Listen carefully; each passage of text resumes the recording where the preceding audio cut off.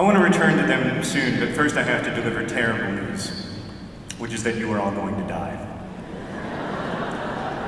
This is another time-honored tradition of American celebration, the raining on the parade. I remember when I got married, the priest devoted the majority of his homily to telling me how challenging and laborious and often miserable marriage would be. And I kept thinking, that seems like something that could wait for tomorrow. But no, it can't. You're going to die. Not only that, it gets worse. Everything you ever make or think or experience will be washed away by the sands of time. The sun will blow up. No one will remember Cleopatra ruling Egypt, or Crick and Watson untangling the structure of DNA, or Ptolemy fathoming the stars, or even that improbably wonderful game against Gonzaga.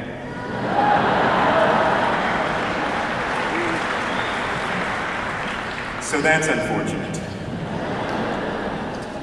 But I would argue that it's, it's good to be aware of temporariness on a day like today you're thinking about what you want to do with your life. The whole idea of this commencement speech is that I'm supposed to offer you some thoughts on how you might live a good life out there in the so-called real world, which, by the way, I assure you is no more or less real than the ones in which you have so far found yourselves. But I can't give any advice about how to live a good life unless and until we establish what constitutes a good life.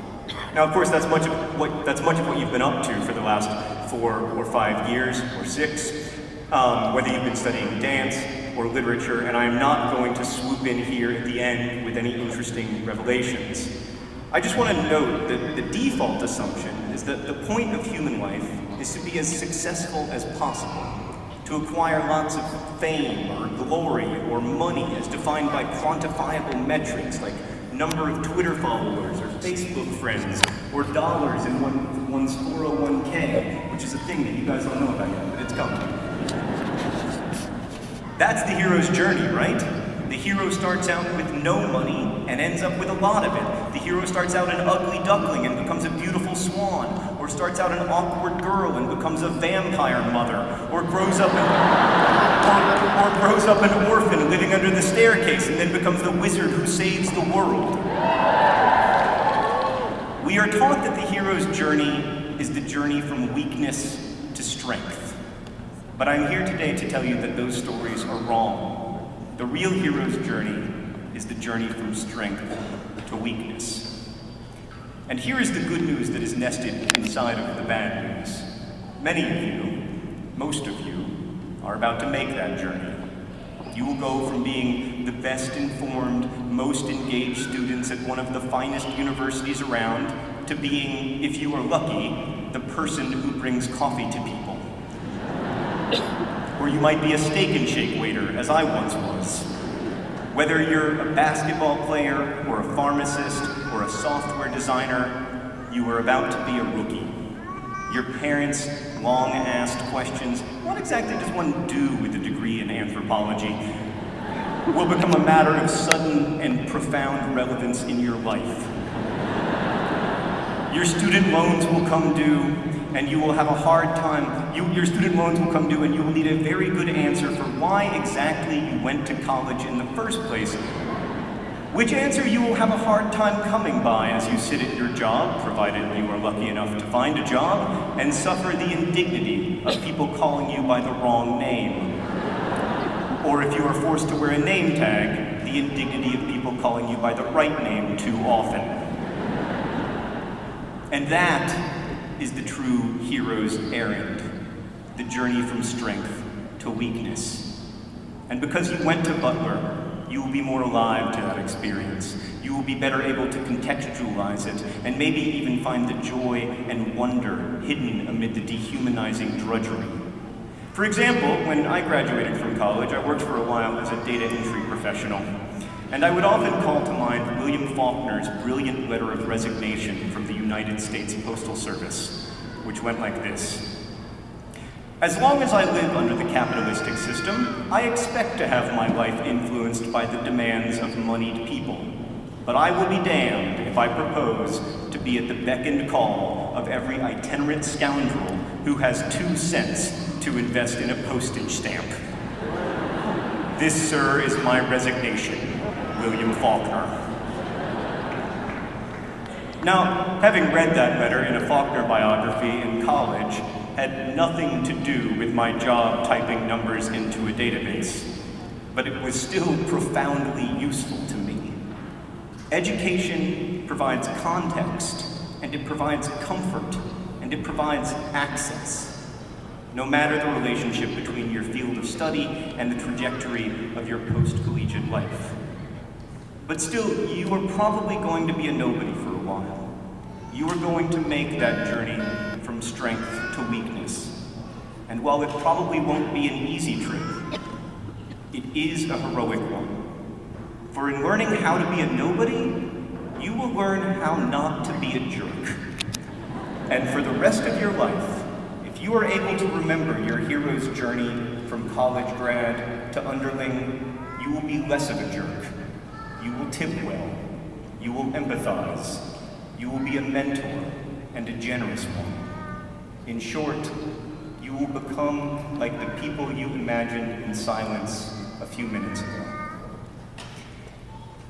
And let me submit to you that this is the actual definition of a good life. You want to be the kind of person who other people, people who may not even be born yet, will think about in their own silences, years from now at their own commencements. I'm going to hazard a guess that relatively few of us closed our eyes and thought of all the work and love that Selena Gomez or Justin Bieber put into making this moment possible for us. We may be taught that the people to admire and emulate are actors and musicians and sports heroes and professionally famous people. But when we look at the people who have helped us, the people who actually change actual lives, relatively few of them are publicly celebrated. We don't think of the money they had, but of their generosity. We don't think of how beautiful or powerful they were, but how willing they were to sacrifice for us so willing at times that we might not even have noticed they were making sacrifices.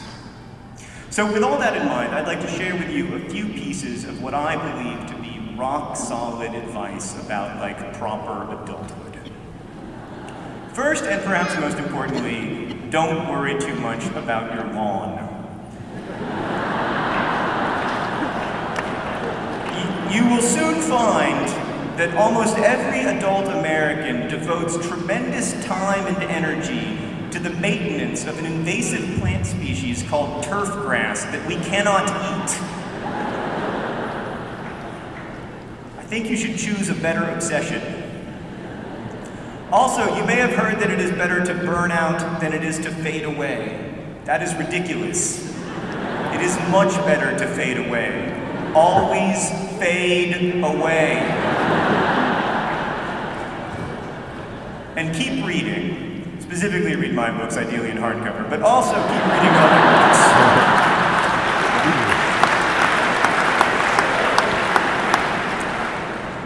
You've probably figured out by now that education isn't really about grades or getting a job. It's primarily about becoming a more aware and engaged observer of the universe.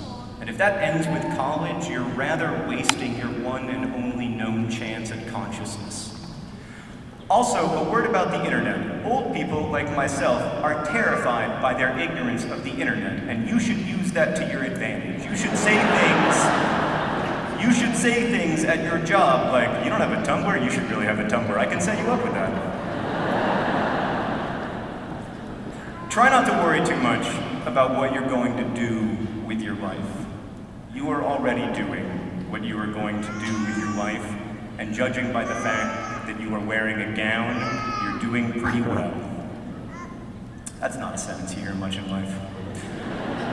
On that topic, there are many more jobs out there than you have ever heard of. And in fact, your dream job might not even exist yet. Like if you had told college graduate me that I would become a professional YouTuber, I would have been like, mm, that doesn't seem like a word.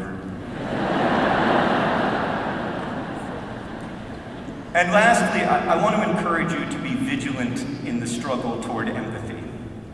A couple years after I graduated from college, I was living in an apartment in Chicago with four friends, one of whom was this Kuwaiti guy, Hassan. And when the US invaded Iraq, Hassan lost touch with his family, who lived on the border for like six weeks. By the way, some of you have heard me tell this story before, but I have a microphone, you're seated, so you're going to listen to the rest of it. So my friend Hassan responded to this stress by watching cable news coverage of the war 24 hours a day, and the only way to hang out with Hassan was to sit on the couch and watch the news with him. So one day, we were watching the news, and the CNN anchor was like, we're getting new footage from the city of Baghdad. And the camera panned across a house that had a huge hole in one wall covered by a piece of plywood.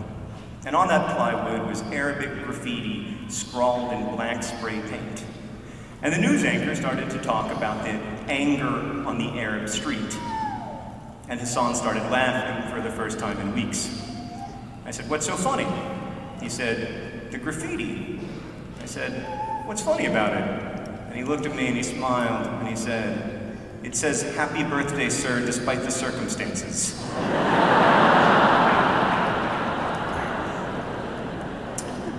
the rest of your life, you are going to have a choice about how to read graffiti in a language you do not know. And you will have a choice about how to read the actions and intonations of the people you meet. And I would encourage you as often as possible to consider the happy birthday, sir, despite the circumstances possibility the possibility that the lives and experiences of others are as complex and as unpredictable as your own. That other people, be they family or strangers, near or far, are not simply one thing or the other, not simply good or evil or wise or ignorant, but that they, like you, contain multitudes, to borrow a phrase from the great Walt Whitman. That's difficult to do, it is difficult to remember that people with lives different and distant from your own even celebrate birthdays, let alone with gifts of graffiti plywood. You will always be stuck inside of your body, with your consciousness, seeing the world through your own eyes. But the gift and challenge of your Butler education is to see others as they see themselves, to grapple meaningfully with this cruel and crazy and beautiful world in all its baffling complexity. I know that we have not left you the easiest path, and I am sorry, but I have every confidence in you, and I wish you a very happy graduation, despite the circumstances. Thank you.